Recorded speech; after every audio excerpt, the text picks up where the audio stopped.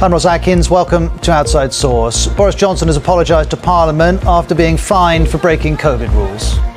It did not occur to me then or subsequently that a gathering in the Cabinet room just before a vital meeting on COVID strategy could amount to a breach of the rules. Russia begins its attacks in eastern Ukraine in a new offensive. It claims to have struck 1,200 military targets. Ukraine's President Zelensky has this message.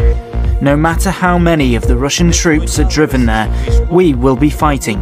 We will defend ourselves. The International Monetary Fund is warning that the war in Ukraine will severely impact the global economy and produce a food security crisis.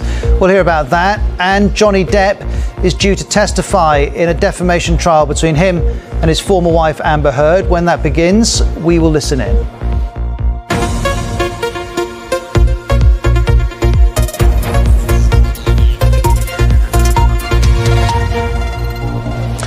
Well, we're going to start the hour here in the UK because Prime Minister Boris Johnson has addressed Parliament and addressed his fine for breaking COVID lockdown rules. Here's some of what Mr. Johnson said. But now it seems that very few areas within the city remain outside of Russia's control. So, a key moment in Russia's invasion of Ukraine. If you want updates on that, just behind me here in the BBC Newsroom are colleagues updating our live page all the time. You can find that at bbc.com/news. I'll be back with you in a couple of minutes.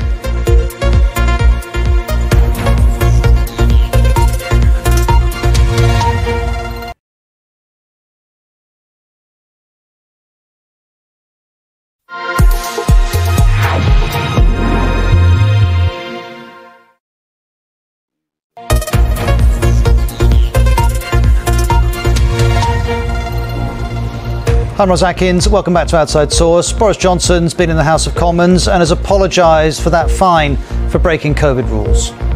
It did not occur to me then or subsequently that a gathering in the Cabinet room just before a vital meeting on COVID strategy could amount to a breach of the rules.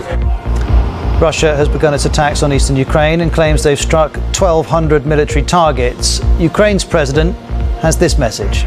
No matter how many of the Russian troops are driven there, we will be fighting.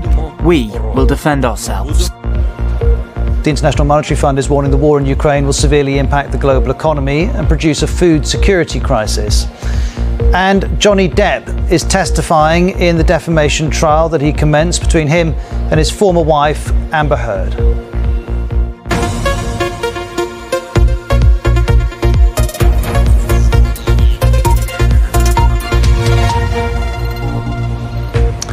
Well, let's turn back to the war in Ukraine. Russia has launched a major offensive in the east of the country, particularly focused on the Donbass region. We know Ukrainian forces have been fighting Russia backed separatists there for the past eight years, and we know that Mariupol in the south has been under attack from Russian forces for weeks. Uh, an updated story on the Johnny Depp Amber Heard trial in Virginia on the BBC News website. Most of the stories, almost all the stories we cover on Outside Source, you can also get covered online from BBC News. Also, remember if you want further analysis from me and the Outside Source team, a good place to find it is via my Twitter account. You can follow me at BBC Ros Atkins. Whenever we post one of our explainer videos, they go onto the BBC News website, but they also go onto my Twitter account if you prefer to pick them up there. That is it for this edition of Outside Source. Thank you very much indeed for watching. We'll, of course, continue to bring you the very latest on Boris Johnson's apology in the House of Commons and the new Russian offensive in the east of Ukraine. Bye bye.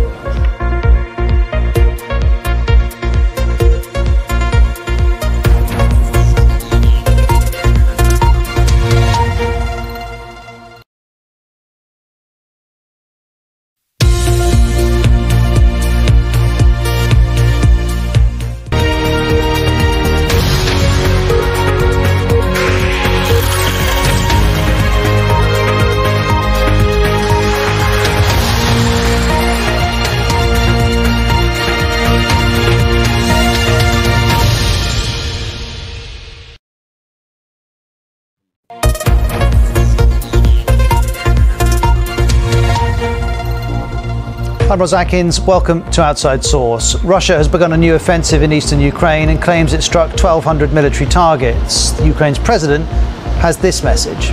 No matter how many of the Russian troops are driven there, we will be fighting. We will defend ourselves. Boris Johnson has apologised to Parliament after that fine for breaking COVID rules. It did not occur to me then or subsequently that a gathering in the Cabinet room just before a vital meeting on COVID strategy could amount to a breach of the rules. And the actor Johnny Depp is testifying in the defamation trial that he instigated between him and his former wife, Amber Heard.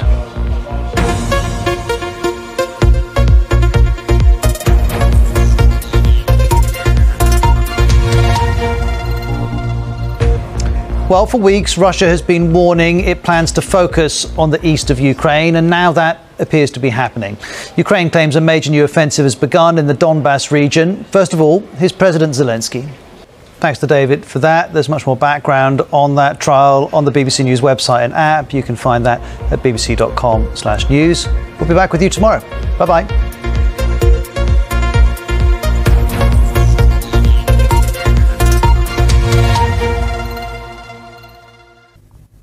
Hello. Some quite big contrasts in the weather between northern and southern Europe at the moment.